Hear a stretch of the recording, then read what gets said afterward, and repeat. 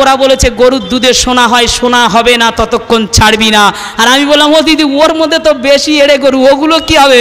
বলে ওগুলোকেও গোয়ালে নিয়ে বেঁধে রাখ। আমি বলি, দিদি, এড়ে গরুকে গোয়ালে রাখলে যেমন দুধ পাওয়া যায় না, বিজেপি আর সিপিএমকে ভোট দিলেও কিন্তু সেই উন্নয়নকে পাওয়া যায় না, এটা আপনারা মনে করে রাখবেন। দিদিকে বলছি, ও দিদি, তোমার সঙ্গে লড়াই করতে এসেছে কে জানো বলে, কে? আমি বাবা, তোমার দরবারে সব পাগলের খেলা হরেক রকম পাগল লিয়া এরা মিলাইছে মেলা। দিদি হনুমানের নেতা, যখন পাকিস্তান আর ভারতের যুদ্ধ হয়, ভারতের নৌসেনাদেরকে লাহোরে আটকে রেখেছিলেন, তখন কংগ্রেস সরকারের কাছে মমতা বন্দ্যোপাধ্যায় বলেছিলেন, আমি আমার জীবনের বিনিময়ে আমার ভাইদেরকে ফিরিয়ে আনতে চাই, এটাই দেশপ্রেম এটাই দেশপ্রেম, এটাই মমতা ব্যানার্জি। আপনাদের ক্ষমতা নেই বলে হনুমানের নেতা আমি দেশের জন্য করেছি। কি করেছেন? প্রধানমন্ত্রী হয়ে দাড়িটা বাড়াচ্ছেন আর বলছেন আমি রাম ছাগলেরও দাঁড়িয়ে আছে। আর ইনি বলে আমি রবীন্দ্রনাথ হব। যতই আপনার দাড়ি বাড়ুক না কেন আপনি রবীন্দ্রনাথ হতে পারবেন না। এখন জন্মগ্রহণ করেছিলেন ভারত মায়ের কোল জড়ো করে স্বামী বিবেকানন্দ বারোই জানুয়ারি। ভারত মায়ের কোল জড়ো করে মাইকেল মধুসূদন দত্ত আমি সালটা এই মুহূর্তে ভুলে যাচ্ছি। চব্বিশে জানুয়ারি জন্মগ্রহণ করেছিলেন। ভারত মায়ের কোল জড়ো করে আঠারোশো সাতানব্বই সালের তেইশে জানুয়ারি জন্মগ্রহণ করেছিলেন নেতাজি সুভাষচন্দ্র বসু আর একজনও কিন্তু দেশপ্রেমের সঙ্গে জড়িয়ে জড়িত আছে। আমি প্রমাণ করে দেবো, আমি যা বলি, ইতিহাস জেনে বলি, মিথ্যা বলি না। নাম তার মমতা বন্দ্যোপাধ্যায় উনিশশো পঞ্চান্ন সালের পাঁচই জানুয়ারি। তাই ওই মাসটাকে আমি বলি রত্নগর্ভা মাস। ও হনুমানের নেতা, যখন পাকিস্তান আর ভারতের যুদ্ধ হয়, ভারতের নৌসেনাদেরকে লাহোরে আটকে রেখেছিলেন তখন কংগ্রেস সরকারের কাছে মমতা বন্দ্যোপাধ্যায় বলেছিলেন আমি আমার জীবনের বিনিময়ে আমার ভাইদেরকে ফিরিয়ে আনতে চাই, এটাই দেশপ্রেম এটাই দেশপ্রেম, এটাই মমতা ব্যানার্জি। আপনাদের ক্ষমতা নেই? বলে হনুমানের নেতা আমি দেশের জন্য করেছি। কি করেছেন? প্রধানমন্ত্রী হয়ে দাড়িটা বাড়াচ্ছেন আর বলছেন, আমি রাম ছাগলেরও দাঁড়িয়ে আছে। আর ইনি বলে, আমি রবীন্দ্রনাথ হব। যতই আপনার দাড়ি বাড়ুক না কেন, আপনি রবীন্দ্রনাথ হতে পারবেন না। কারণ রবীন্দ্রনাথ রবীন্দ্রনাথ, বাংলার কৃষ্টি আগে জানতে হয়, বাংলার সৃষ্টি আগে জানতে হয়। যাই হোক বন্ধু, অনেক কিছু বলার আছে। এই ভোটটা কিন্তু প্রধানমন্ত্রীর ভোট নয়। দু হাজার চব্বিশে বলেছিলাম দু হাজার একুশে সরি আমাদের লক্ষ্য দু হাজার একুশ নয়, আমাদের লক্ষ্য দু হাজার চব্বিশ। দিদিকে বলছি, ও দিদি, তোমার সঙ্গে লড়াই করতে এসেছে কে জানো? বলে, কে? আমি বাবা, তোমার দরবারে সব পাগলের খেলা, হরেক রকম পাগল লিয়া এরা মিলাইছে মেলা। দিদি বলে, কাকে পাগল বলছি? আমি কেন? পিএমপি ফর পাগল এম ফর ম্যাড ডবল পাগল। দিদি বলে, কেন বললি? ও দিদি, পাগল না হলে বলে, দিয়া জ্বলালো, করোনা চলা যায়গা, বাকি থালা বাজালো, করোনা চলা জায়গা হয় দিদি, করোনা থালায় আর দিয়ায় যদি যায়, তাহলে বাংলা তথা ভারতবর্ষের এত মানুষ কি করে মরে বলুন তো আপনি? বলছে, ঠিক বলেছিস, তাহলে ওটা পিএম আর আপনি কে?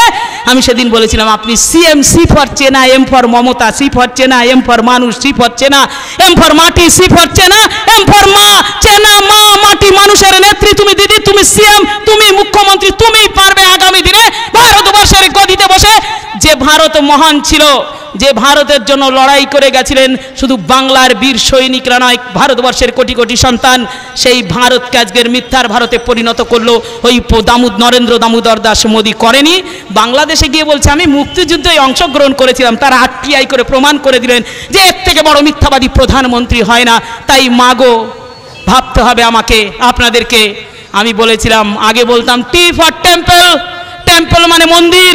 এম ফর মক্স মক্স মানে গির্জা মক্স মানে মসজিদ সি ফর চার্চ চার্চ মানে গির্জা। এই তিনের মূলনে টিএমসি মমতা বন্দ্যোপাধ্যায়ের রাজত্বে যারা আছে, তারা মায়ের আচলে আছে, মায়ের কাছে সবাই সমান। আর এবারে বলেছিলাম T for third time M for Mamata C for CM প্রমাণ করে দিয়েছি। আগামী দিনে ভারতবর্ষের পিএম বলে উন্নয়ন নাকি হয়নি? সব বুড়ো কাক সেজেছে। বুড়ো কাক দেখেছেন? নোংরা খুঁড়তে খুঁড়তে খুঁড়তে ঝাড়ুদার পাখি, আর খেতে খেতে যখন পেট ভরে যায়, যতটুকু মুখে থাকে, খড়ের গোদায় লুকিয়ে দিয়ে বলে, আমি দেখিনি তো কেউ দেখেনি। কোকিল কিন্তু কখন এসে খেয়ে যায়? আপনাদের কিন্তু কোকিল বলিনি আমি। আপনারা আমাদের গণদেবতা, দিদি প্রতিনিয়ত বলে, প্রণাম করে, হাত জড়ো করে, পাপিয়া, ওদের দুয়ারে গিয়ে মানুষের সঙ্গে মিশতে হবে, মানুষের জন্য কাজ করতে হবে। মানুষকে যে ভালোবাসে জীবে প্রেম করে, যেই জন, সেই জন সে বিশেষ ঈশ্বর। একমাত্র ভারতবর্ষের মমতা বন্দ্যোপাধ্যায় যদি কাউকে আদর্শ মনে করে, সেটা স্বামী বিবেকানন্দ আর ওই হনুমানের নেতা বললেন, Swami Vivekananda plus Netaji Subhash equal to আমি নরেন্দ্র দামোদর দাস মোদী। লজ্জা করা উচিত, লজ্জা করা উচিত। কি করেছেন ভারতবর্ষের জন্য? আপনি যে কটা প্রতিশ্রুতি দিয়েছেন, একটা প্রতিশ্রুতিও আপনি রাখেননি। আপনি এসে বলেছিলেন, ভাই আর বেহনা, এক ঢিল মে তিন পাখি মার দিয়া রে। हम लोग बोले, आपने क्या किया मोदी जी? बोले, कि वो मनी डिलाइजेशन है ना? पाँच सौ हज़ार का नोट बदल करके दिखा दिया और वो आई चोर है। उन लोगों से पाँच सौ हज़ार रुपया नकल डुप्लीकेट का नोट वो हम ले लिया। वो आईएसआई जोंगी हाना और भारत में कभी नहीं होगा। बोले, नरेंद्र दामोदर दास मोदी একটা পয়েন্টের উত্তর আপনি দিন। আপনি তো বলেছিলেন পাঁচশো হাজার টাকার নোট বদল করে এই বাংলার বুকে, ভারতবর্ষের বুকে আর জঙ্গি আনা হবে না। কোন সৈন্য যারা আমাদেরকে পাহারা দেয়, তাদের মায়ের কোল খালি হবে না। তাহলে একটা পরিসংখ্যান দিয়ে আবার লিখে নিন, যদি ডায়েরিটা থাকে।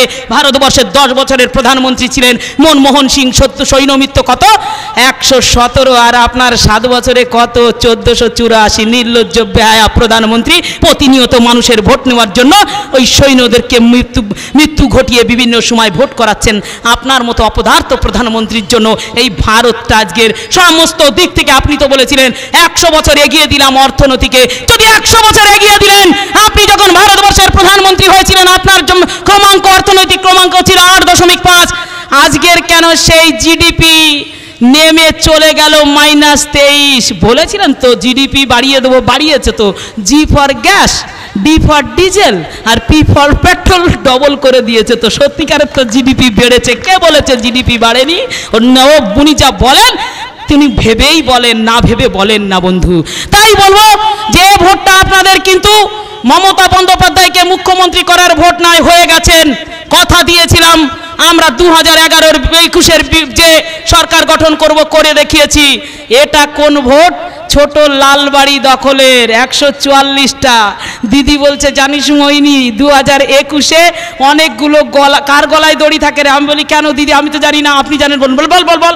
আমি বলি, গরুর গলায় দড়ি থাকে।